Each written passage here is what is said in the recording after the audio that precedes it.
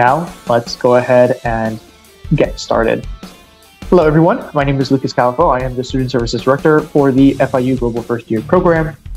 And then I also have joining me Alejandra. Go ahead and introduce yourself, Alejandra.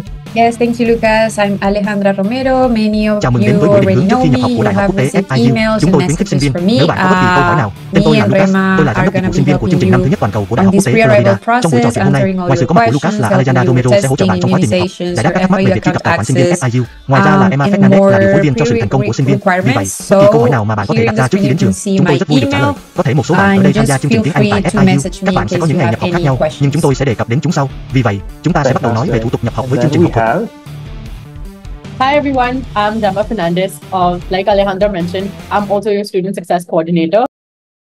Nhiều bạn hoặc tất cả các bạn đã nhận được email từ tôi với hướng dẫn hoàn thành buổi định hướng. Module định hướng bắt buộc và các bạn cần hoàn thành nó chậm nhất là ngày 15 tháng 8. Ngày bạn có thể chuyển đến và nhận phòng là ngày 20 tháng 8 hoặc ngày 21 tháng 8 và từ 10 giờ sáng đến 5 giờ chiều. Các lớp học bắt đầu vào thứ hai, ngày 26 tháng 8. Vì vậy hãy đảm bảo rằng bạn đến đúng giờ và tham dự đầy đủ các hoạt động. Bây giờ dành cho sinh viên tiếng Anh chuyên sâu, bạn được yêu cầu phải làm bài kiểm tra tiếng Anh vào ngày 20 và ngày 21 tháng 8 đối với bạn. Các lớp học sẽ bắt đầu vào ngày 3 tháng 9. Được rồi, bây giờ chúng ta sẽ nói về việc kiểm tra bắt buộc. Chúng tôi có hai bài kiểm tra khác nhau. Chúng tôi có bài đánh giá toán. Bài kiểm tra này bắt buộc đối với tất cả sinh viên chuyên ngành kinh doanh hoặc chuyên ngành STEM, nghĩa là khoa học, công nghệ, kỹ thuật hoặc toán học. Vì vậy, hãy đảm bảo rằng bạn đọc kỹ và làm theo hướng dẫn đã được chia sẻ qua email cá nhân. Nếu bạn được thông báo qua email rằng bạn cần thi tiếng Anh thì bạn bắt buộc phải thi. Nhưng nếu bạn không nhận được bất kỳ email nào thì bạn không cần phải làm bài đánh giá tiếng Anh. Như chúng tôi đã đề cập trước đó, hạn chót để tham gia học phần định hướng bắt buộc là ngày 15 tháng 8. Tôi biết rằng một số bạn không có quyền truy cập tài khoản sinh viên, vì vậy tôi đang lập một danh sách để gửi đến bộ phận IT để họ giúp chúng tôi kiểm tra vấn đề là gì. Nhưng nếu bạn không gặp phải vấn đề đó thì bạn đã có quyền truy cập và bạn nhận được hướng dẫn trong email của mình. Và chỉ cần nhớ rằng bạn cần kích hoạt tài khoản FIU của mình để truy cập vào nền tảng. Nền tảng trực tuyến tiếp theo là hướng dẫn thanh toán học phí của bạn. Chúng tôi có các tùy chọn thanh toán khác nhau. Đầu tiên, chúng ta có thanh toán chuyển khoản quốc tế hoặc thanh toán nội địa. Thanh toán nội địa hoặc thẻ tín dụng quốc tế. Chi phí cần được thanh toán bao gồm học phí năm đầu tiên của bạn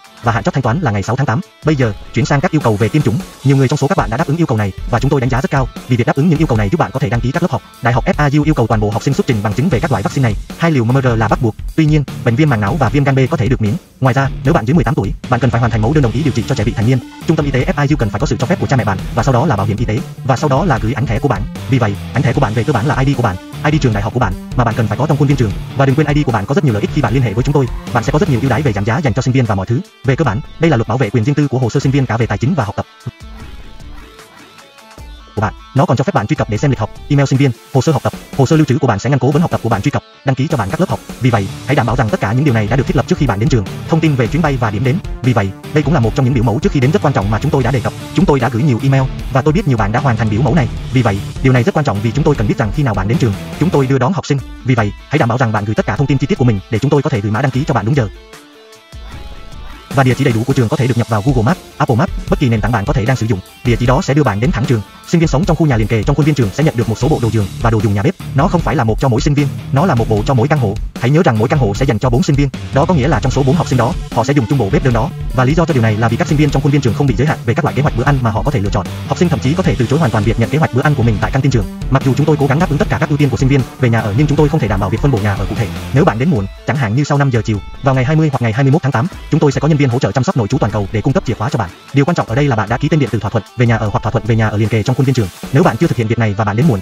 chìa khóa của bạn sẽ không được cấp cho đến khi hoàn thành. Thỏa thuận trực tuyến sẽ được gửi qua email. Việc hoàn thành rất đơn giản, nhưng chỉ cần nhớ rằng cần phải có thỏa thuận để nhận được chìa khóa của bạn. Bất kể bạn đến vào lúc nào vào ngày 20 hoặc ngày 21 tháng 8, vì trong khuôn viên trường, tất cả sinh viên phải đăng ký trong khoảng thời gian từ 10 giờ sáng đến 5 giờ chiều. Vì vậy, những sinh viên không thể đến trước 5 giờ chiều vào ngày 20 hoặc ngày 21 tháng 8 sẽ phải liên hệ với nhân viên của chúng tôi, cho dù đó là Zema hay Alexander. Chúng tôi nhận một câu hỏi khác, làm thế nào tôi có thể được phép làm việc trong khuôn viên trường? Để nói ngắn gọn như sau, một sinh viên nộp đơn xin việc trong khuôn viên trường. Nếu họ được liên hệ để phỏng vấn, họ sẽ phỏng vấn và cuối cùng, nếu nhà tuyển dụng muốn thuê sinh viên, họ sẽ gửi cho sinh viên một lá thư mời bằng văn bản. Với thư mời làm việc đó, họ có thể nộp đơn xin giấy phép làm việc và sau đó xin số an sinh xã hội. Sau đó, sau khi nhận được số an sinh xã hội, họ có thể bắt đầu làm việc trong khuôn viên trường cho công việc cụ thể đó. Cha mẹ có thể ở lại với chúng tôi vài ngày được không? Tôi không khuyến khích điều đó, cho dù đó là trong khuôn viên trường, nhà ở liền kề hay trong khuôn viên trường, chỉ vì những căn hộ đó được xây cho số lượng sinh viên. Vì vậy, nó thực sự sẽ không phải là một trải nghiệm thoải mái cho bất kỳ ai, đặc biệt là bố mẹ bạn. Tôi khuyên bạn nên nếu họ đi du lịch tới Miami, họ nên ở trong khách sạn và cảm thấy thoải mái nhất có thể. Tùy thuộc vào loại căn hộ, học sinh sẽ dùng chung phòng tắm với tối đa 3 học sinh khác. Khi nào việc đăng ký lớp học bắt đầu, vì chương trình của chúng tôi có trách nhiệm đăng ký lớp học theo mùa, nó sẽ diễn ra liên tục. Điều mà học sinh có thể làm để đảm bảo rằng họ được ghi danh đúng thời hạn và không hoàn thành muộn là nộp giấy tờ tiêm chủng của họ.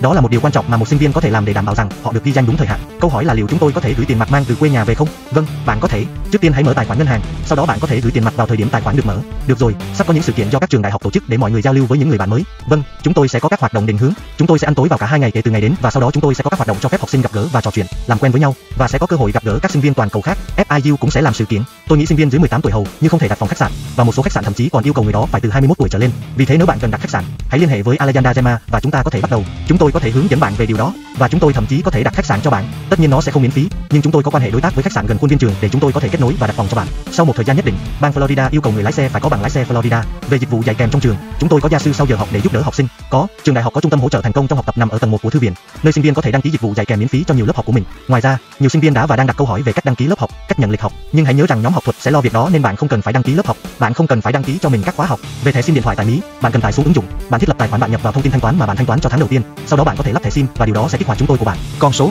đó thường là cách nó hoạt động. Chúng tôi sẽ không tặng thẻ sim có thể kích hoạt miễn phí vì một lần nữa, chúng tôi không làm như vậy. Chúng tôi không phải là nhà cung cấp dịch vụ di động, nhưng cuối cùng, học sinh nên đến sau 5 giờ chiều nên làm việc với Rama và Alexander để họ có thể ghi lại thông tin của bạn. Sau đó, chúng tôi có thể giúp bạn kết nối với khách sạn của chúng tôi gần khuôn viên trường và chúng tôi sẽ cung cấp dịch vụ vận chuyển đến khách sạn đó và từ khách sạn đó đến nơi bạn ở. Chỉ vì khu nhà sẽ từ chối sinh viên nếu họ đến muộn nên họ sẽ không thể nhận phòng và điều đó sẽ dẫn đến sự chậm trễ, thời gian và sự thất vọng. Vì vậy, chúng tôi xin thông báo cho bạn biết rằng nếu bạn không thể đến trước 5 giờ chiều, nhiều khả năng là bạn sẽ cần phải đặt phòng khách sạn của riêng mình hoặc nếu bạn dưới 18 tuổi, trong một số trường hợp, ngay cả sinh viên 18 tuổi cũng không thể đặt phòng khách sạn. Chúng tôi có toàn bộ quan hệ đối tác với một khách sạn ở đây gần khuôn viên trường để chúng tôi có thể đặt phòng cho bạn. Đây là danh sách mà bạn cần đem theo, hộ chiếu của bạn, visa F1 của bạn, bảng điểm trung học và bằng tốt nghiệp, đơn thuốc nào mà bạn có bất kỳ loại thuốc nào bạn có, thiết bị điện tử cá nhân, máy tính bảng, máy tính sách tay, điện thoại di động. Ngày nay, học sinh chủ yếu sử dụng máy tính bảng hoặc máy tính sách tay trong lớp học. Điều này rất phổ biến, nhưng một lần nữa, điều đó tùy thuộc vào sở thích cá nhân. Tuy nhiên, dù là để làm bài tập về nhà hay giải trí, hãy mang theo máy tính bảng, máy tính sách tay và máy tính sách tay của bạn. Tất nhiên bạn cần một chiếc điện thoại di động là điều hết sức quan trọng bộ chuyển đổi nguồn ở Mỹ. Chúng tôi sử dụng nguồn điện khác nhau, phích cắm điện, sau đó ở các quốc gia khác. Vì vậy bạn có thể dễ dàng xem nó trên YouTube, nghiên cứu nó trên Google, đảm bảo rằng bạn đang có bộ chuyển đổi phù hợp để thiết bị điện tử của bạn có thể sạc. Tiền mặt từ 300 đô la Mỹ đến 500 đô la, hoặc bất cứ hình thức nào bạn cảm thấy thoải mái hơn.